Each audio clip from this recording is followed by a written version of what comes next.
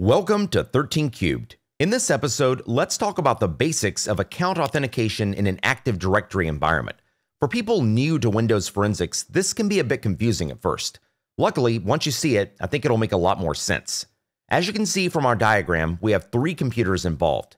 We have a Windows Server 2019 domain controller named win2019-test-vm, and it's hosting the 13cubed.home domain. We have a Windows 10 workstation named win10-test-vm, which is joined to that domain, and a Windows 11 workstation named win11-test-vm, which is also joined to that domain. So here's the question. On Win11 Test VM, if we map a network drive to a share on Win10 Test VM and specify the credentials for a user on the 13 cubed domain, where will the resultant 4624 type 3 be logged? And remember, this is an SMB network connection, so we do expect a type 3. Will it be on Win10 Test VM, Win11 Test VM, Win2019 Test VM, which is the domain controller, or some combination of those? And will there be any other potential authentication related events of interest? Let's find out. Okay, we're on Win11 test VM, so let's get started by clicking the ellipsis and going down to Map Network Drive. Z colon will be fine, and for the folder path, we're going to type slash slash win10 dash test dash VM slash testing. Testing is the name of the share that I've created for this demo. Next, we'll need to tick the box next to connect using different credentials, and then we'll click finish. Notice that we're prompted for credentials at this point and the domain is already set to 13 cubed, so we're good there. Let's use the Bobby account and I'll type in Bobby's credentials now and then click OK. And at this point, we should have our mapped network drive, which you can see right here, along with one file in that particular share called testing.txt. At this point, we are essentially done with Win11 test VM. Now the question is, what should we see on Win10 test VM as a result of the actions we've just performed? Well, let's hop over there and find out.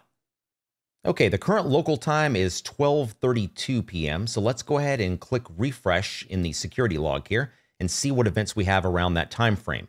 And it looks like the first in our time frame is going to be 12:31:24.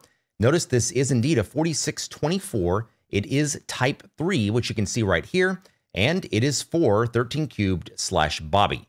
So that answers that question. Also note the source network address right here, which is 192.168.10.55, which is indeed the IP address for Win11 test VM. So our 4624 type 3 is on the target system, the system to which we were connecting, which was Win10 test VM. Let's go ahead and check the two logs above this to see if we have anything else. It looks like this is a 4624 type 5, which is associated with services. And in fact, you can see services.exe right here. So we'll ignore that one for our use case. And then this is a 4672 special privileges. But aside from that, the 4624 type 3 was on the target, which may not necessarily be the box that's actually performing the authentication. And in our case, it is not the box performing the authentication. So what is? Well, the domain controller. And in fact, the protocol being used for that authentication is going to end up being Kerberos because this is an Active Directory environment. The question then becomes, what will we find on the domain controller? Let's hop over there and check that out. Okay, let's go ahead and click refresh here, and then we'll go down to our 123123 event, which is in the time frame we're looking at. And check this out. We've got a 4768 within security, which says a Kerberos authentication ticket, TGT, which is a ticket granting ticket, was requested. Now let's take a look at the information we have here. The actual account name says Bobby. The user ID is 13 cubed slash Bobby. The service name is krbtgt, which is expected. The client IP address is indeed the IP associated with Win11 test VM, which is the 192.168.10.55 address. And that makes sense, right? Because that's indeed what we would expect to see on the actual device performing the authentication. So we have a 4768 for the Kerberos ticket granting ticket. Now let's check out the log entry right above that and this is for a service ticket. You can see it right here. This is 4769, also within security. Notice the account name is listed as Bobby at 13cubed.home. But notice under service information, we've got some interesting data here. Service name is actually listed as Win10 Test VM. This is the computer to which we were connecting. So it's interesting that we can see that there. And then under network information, we have the 192.168.10.55 address, which is the computer from which we were connecting to Win10 Test VM. So lots of good information there. Now, I will point out that auditing will need to be enabled for Kerberos Authentication Service to be able to see those 4768 event IDs and Kerberos Service Ticket Operations to be able to see the 4769 event IDs. But assuming those are enabled, you can expect to see those on the domain controller servicing this authentication request. So let's recap.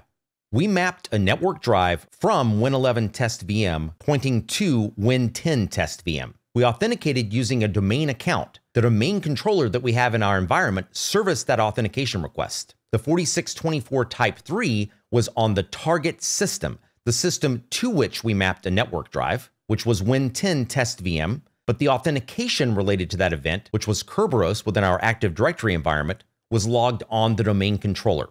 I hope that helps clarify things. A lot of times you can read about event IDs and what is supposed to be logged where, but when you see it in real life and in real time, I think it really helps solidify how things work.